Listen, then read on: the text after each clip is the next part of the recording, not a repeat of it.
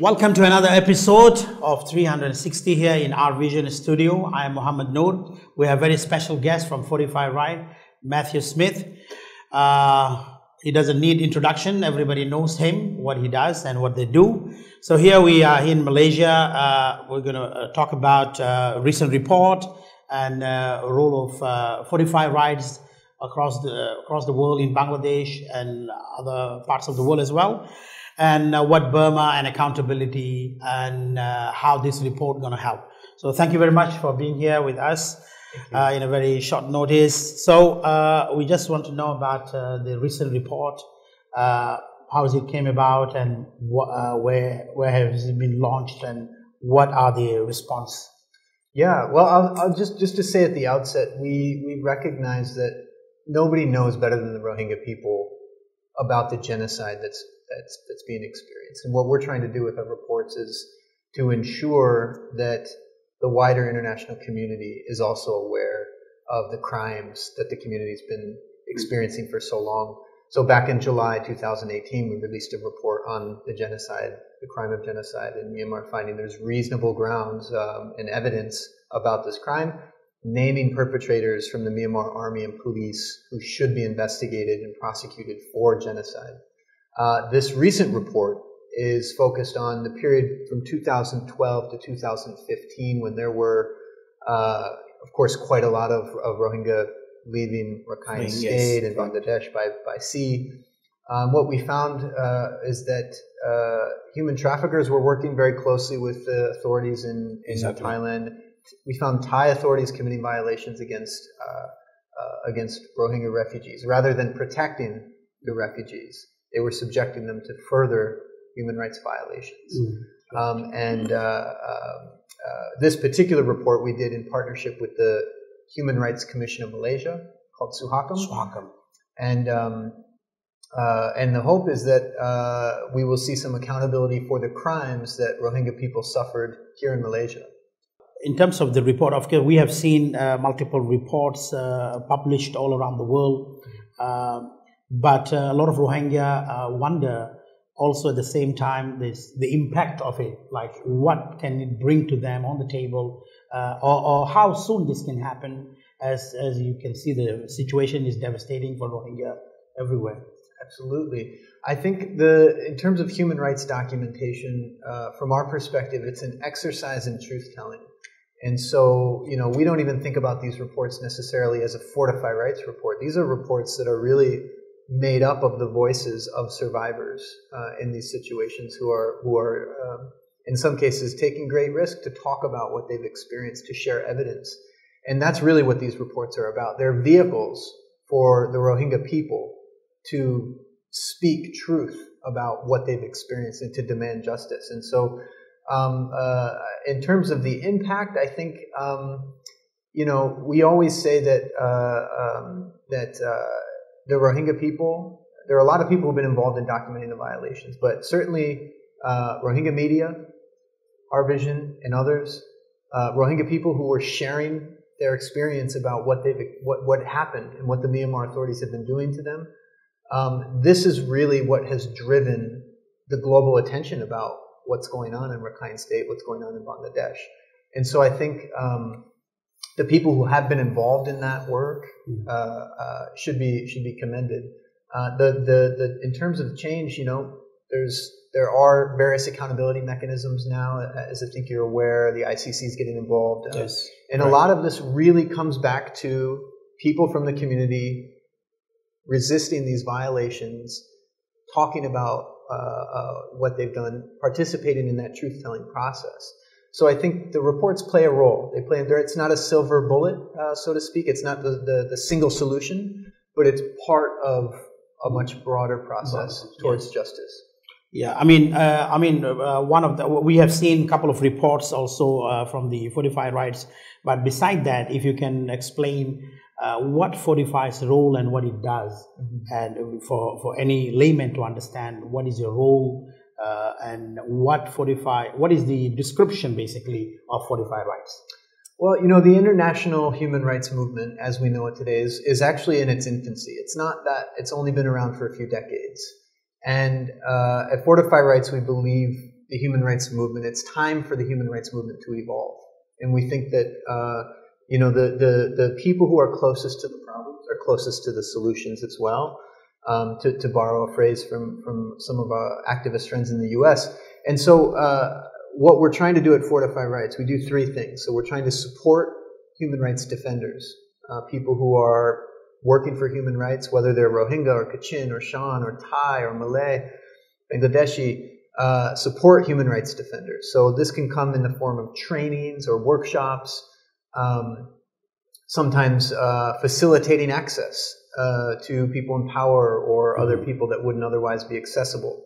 Second thing that we're doing is investigation. So we're doing independent human rights investigations, and this is the more public side of our work, uh, the reports and, and, news releases and, and articles um, that, that the team at Fortify Rights is producing. The third aspect of the work is engagement. And so we're, we're engaging governments, people in power. This is most effective when uh, it involves and is led by Rohingya people themselves. And so what we try to do is combine these three aspects of the work. And when we do that, we have seen some incremental positive changes. Um, it still needs to be scaled up, but uh, but this is the idea behind Fortify Rights. Uh, thank you for, for you know clarifying the role and importance and how uh, this. So now, uh, I mean, I, I do have a few uh, questions which is not really uh, related to this. Is uh, in terms of Rohingya capacity building. Mm-hmm. Rohingya, of course, now uh, need a lot of leadership, a lot of moving forward, carrying some of the burden on their own shoulder, especially those who are in diaspora, in in uh, resettled in third countries and all this. So, uh, what Fortify uh, can play, uh, what type of role they can play to bring uh, Rohingya leadership or train them and putting them into more one unified kind of platform, or how to move forward? Do you uh, foresee any kind of because you're, you're, you're saying that one of your initiative is supporting human rights defenders. So we have a lot of human rights defenders. So how can we put this in at least on a consensus base on a, on a particular platform? Not necessarily a unified body but a coalition type where they can move forward.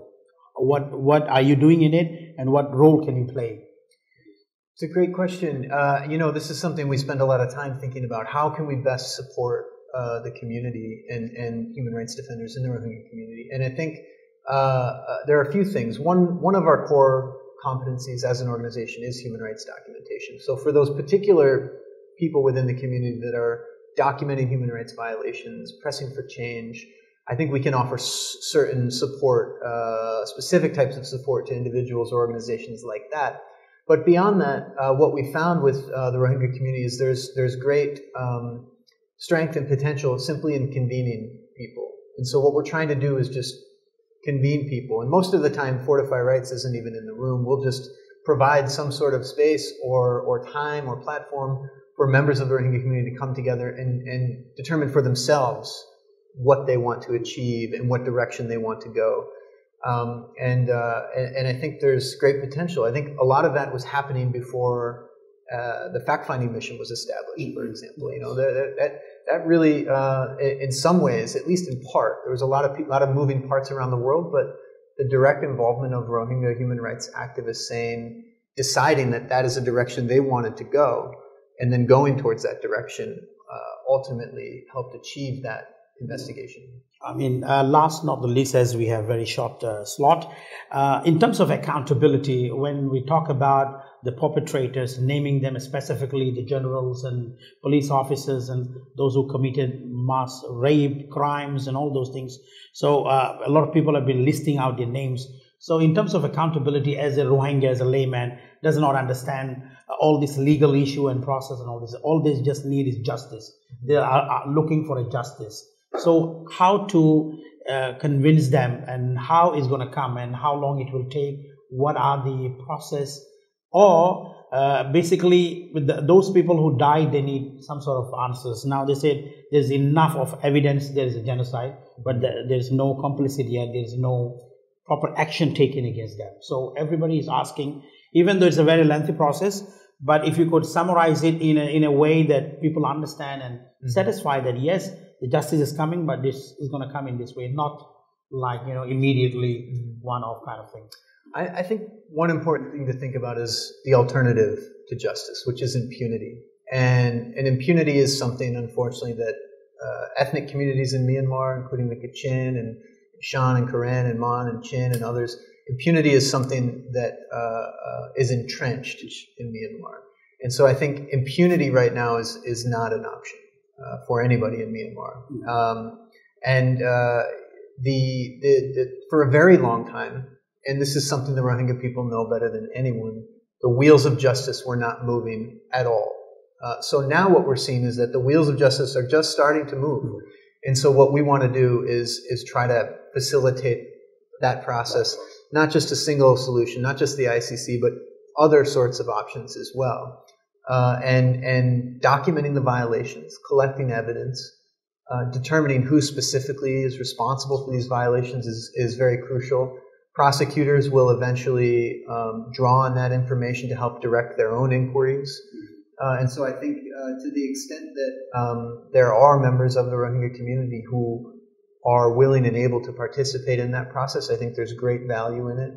Um, and it's hard to say how long exactly the process will take. Um, I think uh, justice in this particular situation definitely won't come overnight. Uh, and I think there are a lot of other solutions out there as well for the Rohingya community. Uh, however, uh, I think it is absolutely essential to end these violations, to restore Rohingya citizenship, to make sure that Rohingya people can uh, live the lives they should be living. Uh, justice will absolutely be important for that. Uh, thank you very much. We are uh, at the end of our program. Thank you for being here. Matthew Smith from Fortify Rights. Thank you so much.